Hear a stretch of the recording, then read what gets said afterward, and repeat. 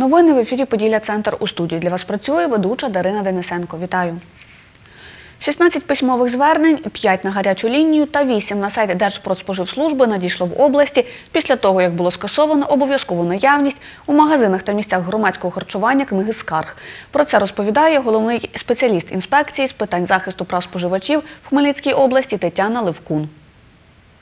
Як вважають е, е, е, представники бізнесу і Міністерство економіки та торгівлі, економічного розвитку та торгівлі, що книга в європейських країнах такої книги відгуків пропозицій немає, що вона ще, як кажуть, за радянського союзу застаріла. Після як кажуть, протягом цього місяця, після відміни книги відгуків пропозицій, ми зустрічалися на перевірках з представниками дійсно бізнесу, суб'єктами господарювання.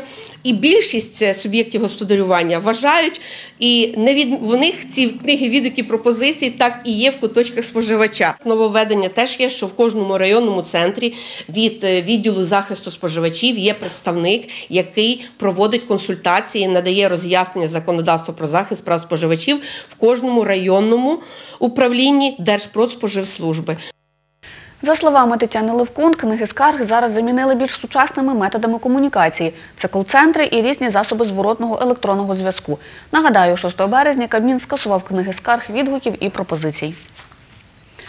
Центр позашкільної освіти створять у приміщенні колишньої музичної школи у селі Солобківці Ярмолинецького району. Про це розповів сільський голова Сергій Когут. За його словами, загальна площа старого приміщення складає півтори тисячі метрів квадратних. Наразі воно в аварійному стані, тож музичну школу перенесли до приміщення сільської ради. Проблема в тому, що діти від е, середньої школи до дитячої майже 2 кілометри йдуть по трасі, що створює загрозу безпеці дітей, що, що створює проблеми і для батьків, і для дітей. Тому ми вирішили реконструювати старе приміщення. За словами сільського голови, вже виготовили проект реконструкції, який пройшов експертизу. На це витратили 200 тисяч гривень з бюджету громади. Наразі подали документи до фонду регіонального розвитку. Вартість проєкту 12 мільйонів. Е, Це ми е, очікуємо 90% фінансування з фонду регіонального розвитку і 10% за власний бюджет. Там планується великий зал, е, три е, зали е, спортивних, невеличких зали для спортивних секцій, ну і класи для музичної школи.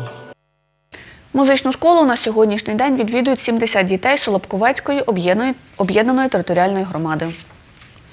Сьогодні вночі повідомляє прес-секретар управління патрульної поліції в області Роман Мартинюк. В Хмельницькому виявили сім водіїв, котрі керували авто в стані алкогольного сп'яніння та одну дорожню транспортну пригоду без травмованих.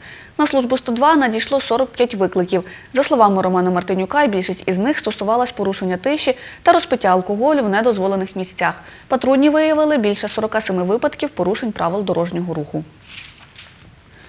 Світловим флешмобом «Підзаряди землю» відзначать годину землі у Хмельницькому в рамках всеукраїнської всесвітньої акції. Про це розповіла голова молодіжної громадської ради Анастасія Козак. За її словами, в обласному центрі світловий флешмоб відбудеться в четверте.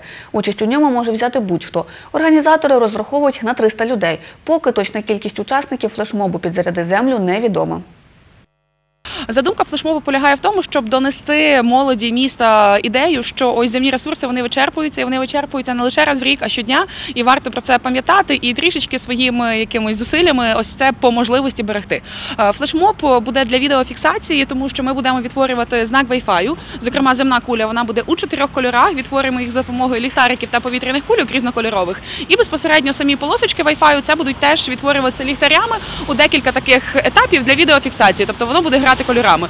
Ось по людях є декілька алгоритмів. Наймінімальніший, який розрахований на 150 людей, щоб відтворити ефект. Оптимальний це 300-500 людей, і такий же ідеальний це 500-800 учасників. Ось е, на сьогодні надіємося на середній ось цей варіант, хоча б 300-500 людей, які долучаться до флешмобу. Відбудеться флешмоб завтра, 30 березня, на майданчику біля Хмельницького кінотеатру імені Тараса Шевченка. Початок о 19.30. Це була остання інформація на цю годину. Наступний випуск дивіться вже о 8.30. Побачимось!